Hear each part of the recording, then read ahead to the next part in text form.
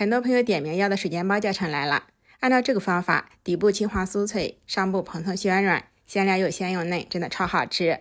水煎包要用发面的，我用的是老面味酵母粉，一斤面粉只需要半袋酵母就可以了，它是蓬松暄软的关键。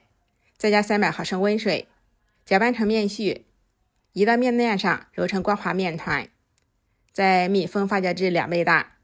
一斤肉馅加生抽、老抽、盐。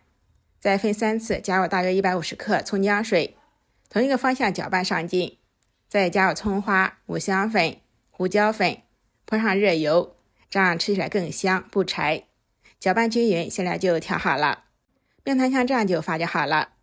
揉搓排气，搓条下剂擀皮，再放上馅料包成包子，小火煎至底部金黄，再倒入面糊水没过包子底部。